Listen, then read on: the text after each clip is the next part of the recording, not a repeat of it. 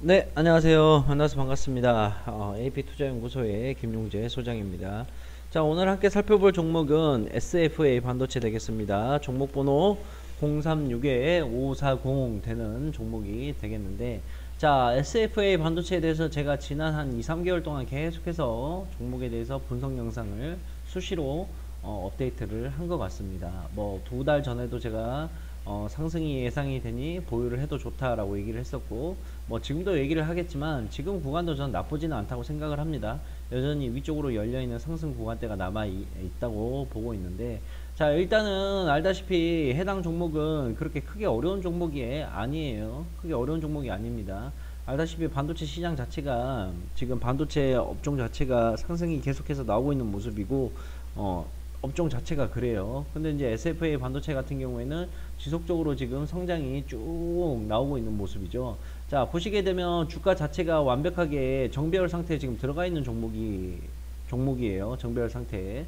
보시게 되면 이쪽 구간에서 상승이 나오고 나서 떨어지고 나서 자리를 잡고 다시 볼륨업을 시키게 되죠. 자, 일반적으로 알아두셔야 할 내용이 급등주가 있고 가치주라는 게 있어요. 자, 이거는 급등주입니까? 가치주입니까?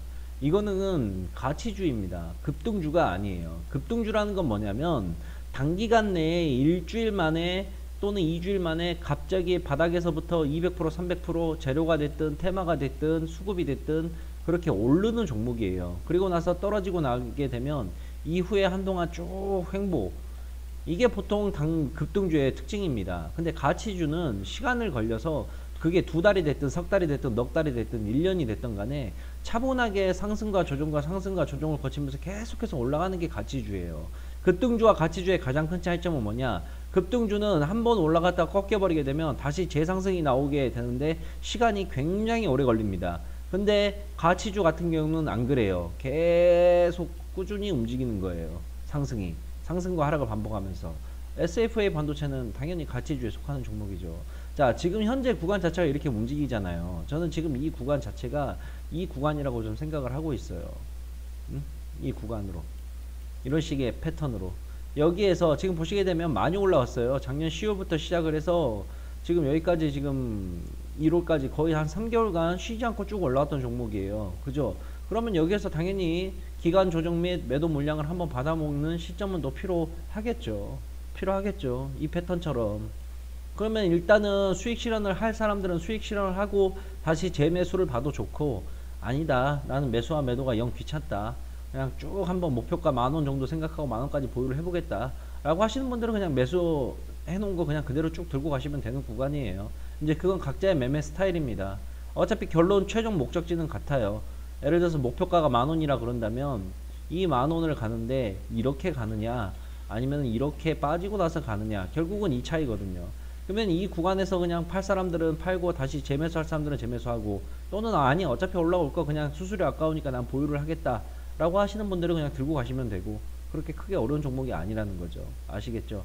그래서 이제 제가 이제 드릴 수 있는 손절가 부분은 1차적으로 이쪽 부근 5300원 부근 그 다음에 또 이 61선 을 깨는 5000원 부근 이 두 가지의 손절가를 좀 제시를 해드리고 이 구간에서 크게 이탈하지 않는 한은 좀 보유를 쭉 해봤으면 좋겠습니다.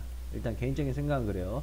자 주가가 여기서 고점에서 밀리다가 좀 빠졌는 모습이 나왔는데 이거는 이제 뭐 두 가지가 다 융합이 된 것 같아요. 이제 어 시장의 코로나 영향 시장으로 인해서 시장 자체가 많이 빠지다 보니까 같이 빠진 경향도 있고 또 너무 고점에서 저점에서부터 고점까지 올라왔다 보니 차익 실현 매물이 같이 시장 영향하고 겹쳐서 빠지는 구간이라고도 생각이 들고 그래요. 근데 이제 문제는 여기서부터 또 바닥을 보시게 되면 지지선을 여기에다가 딱 설정을 해놓고 지금 주가가 다시 들어오고 있는 모습이에요. 만약에 주가가 이 박스권 안에 고점 박스권 안에 다시 들어온다.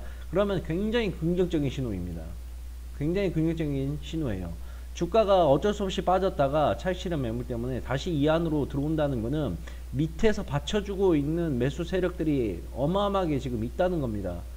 그러면 주가가 박스권 안으로 들어온다 그러면 박스권 돌파하면서 다시 추가적인 상승이 얼마든지 나올 수가 있는 종목이 되겠죠. 아시겠죠? SFA 반도체는 흐름 괜찮으니까 보유하시면서 매매 진행 한번 해보시길 바랍니다. 그리고 제가 매일마다 어, 무료로 종목을 추천드리고 시황을 올려드리는 곳이 있는데 어, 매매하시는데 좀 도움이 되실까봐 알려드리겠습니다. AP 투자연구소라고 네이버에서 검색을 해주시고요. 이렇게 검색을 하시게 되면 어, 맨 위에 AP 투자연구소라고 이렇게 뜨게 됩니다. 그래서 이걸 누르시게 되면 제가 운영하고 있는 저희 홈페이지가 나오게 되는데 여기에서 무료 추천 종목 메뉴가 있어요. 2020년 무료 추천 종목 메뉴 이렇게 누르시게 되면 제가 매일마다 진행을 하고 있는 게 눈으로 보실 겁니다. 그래서 26일, 27일, 28일 이렇게 쭉 하고 있고 어, 하루 조회 건수가 거의 한 20만 건 나올 정도로 많은 분들께서 찾아와 주시고 있는데 여기서 이제 예를 들어서 28일 거 어, 한번 눌러 볼게요. 자, 2월 28일 거 누르시게 되면 2월 28일 금요일 무료 추천 종목 이렇게 나오죠. 이렇게 보시게 되면 어, 이렇게 아침 2월 28일 7시 49분 실시간 댓글로 제가 리딩을 해드리고 있는 거고요. 제가 댓글로 계속해서 써드리고 있습니다. 그래서 전일 미국 증시 상황 한번 보고요. 이렇게 미국 차트도 한번 보고 음, 어떻게 시장이 어떻게 됐는지 제가 시장에 대한 시황에 대한 코멘트를 이렇게 알려드리게 되고 이제 장이 시작하기 시작하게 되면 30분 전입니다. 20분 전입니다. 10분 전입니다. 5분 전입니다. 그렇게 해서 어, 아침 장이 딱 시작하게 되면 추천 종목을 이렇게 제가 추천을 해드립니다. 그래서 현재 시간 몇 시 몇 분 어떠한 종목을 얼마에 매수 1차 목표가는 얼마 손절가는 얼마라고 이렇게 실시간으로 제가 추천을 해드리고 보통 하루에 세 종목에서 네 종목을 추천을 드리고 어, 좀 시장이 안 좋다 그러면 한 두 종목 정도 추천을 드리고 있습니다. 그래서 당일 매수 당일 매도 원칙이에요. 보시면 추천 종목에 대한 1차 목표가가 있죠. 그래서 1차 목표가를 달성하게 되면 수익이고 손절을 하게 되면 손절입니다. 그래서 다음날 overnight을 하지 않고 무조건 당일 매수 당일 매도 원칙으로 진행을 해드리고 있습니다. 그래서 추천드린 종목에 대한 이런 식으로 코멘트 어, 코멘트를 어, 그 차트와 호가창을 올려드리면서 리딩을 쭉 장 끝날 때까지 제가 해드리고 있고 이제 장중 시황도 제가 이제 이렇게 올려드리고 있거든요. 음. 어떤 시장인지 그리고 어떻게 매매를 해야 되는지 등등에 대한 코멘트도 제가 남겨드리고 있습니다.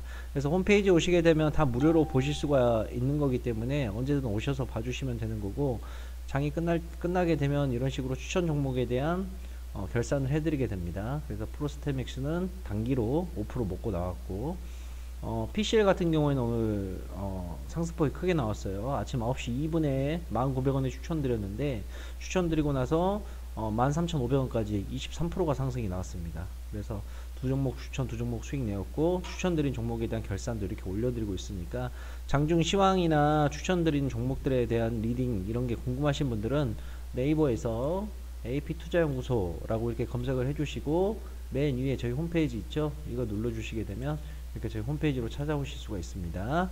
자 오늘도 영상 시청해 주셔서 감사하고요. 음, 마지막으로 좋아요와 구독 한 번씩 눌러주시게 되면 저한테 큰 힘이 되겠습니다. 앞으로 더 열심히 하겠습니다. 청취해 주셔서 감사합니다